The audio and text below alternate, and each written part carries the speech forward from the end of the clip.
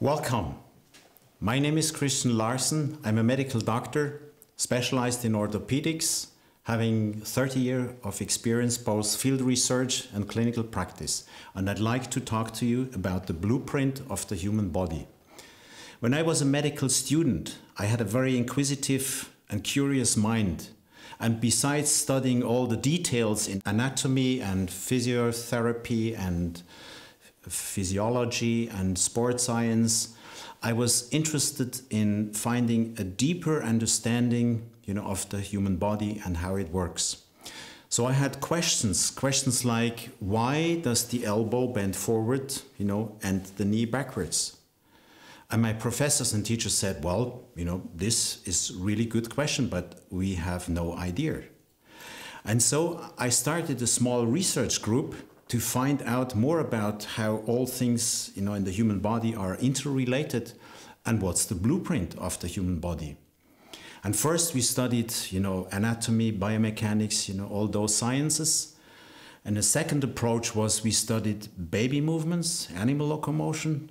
And the third approach and that's where we found the answer we went back in time focusing on evolution and we found that 380 year, million years ago, so it's quite a long time, when fish were launching ashore on dry land, they had to transform their fins into limbs.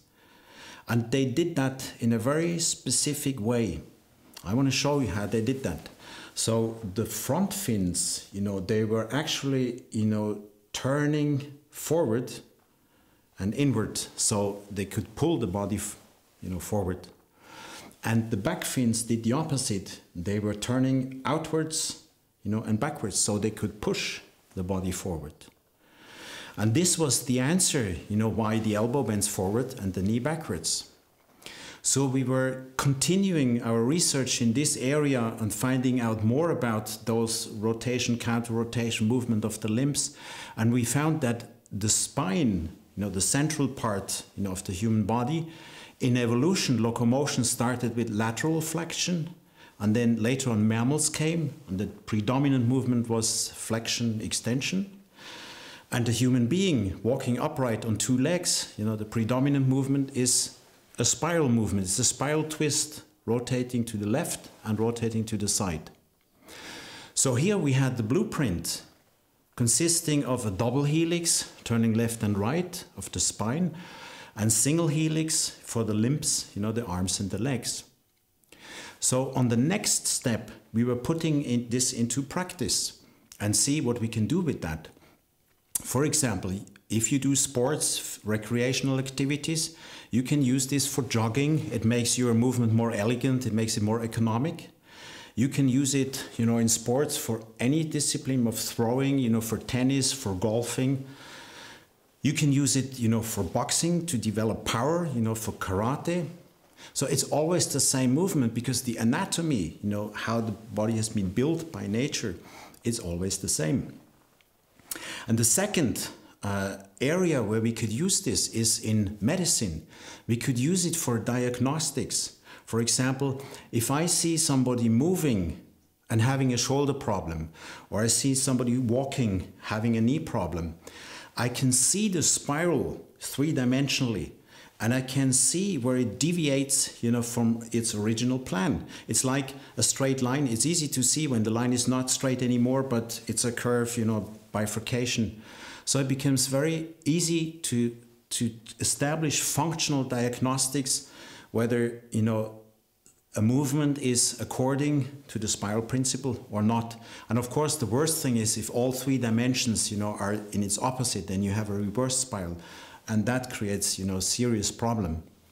So, and having established these diagnostics, we could use this for therapy, for hands-on therapy, for prevention, you know, for education, for rehab, you know, for training, become more elegant in dance, more powerful, you know, in sports. And so far, you know, we have 25 years of experience in, in teaching this and using this for therapy. We have trained 5,000 professionals, medical doctors, therapists, you know, dance teacher, yoga teachers, sports scientists. And we have also 20, published 20 books, you know, altogether almost half a million copies sold. And this know-how, this knowledge about the blueprint of the human body and the basic print, the spiral principle as the building block has been very, you know, effective in everyday practice. So I'd like to summarize and make four statements. First, nature works by principles. Second, you know, the helix is one of those building blocks. You can scale it up and down from spiral galaxies to the DNA or nature plants growing snails. And third, you know, the helix is the key principle of the human body. It's its blueprint and consists of double helix turning left and right for the trunk and single helix for arms and legs. And fourth, most important, you know, you can you have only two choices. You can either work, you know, with the blueprint of your body or you don't. You know, those are the two options. And today I'd like to invite you to make this choice, you know, and to really upgrade your body.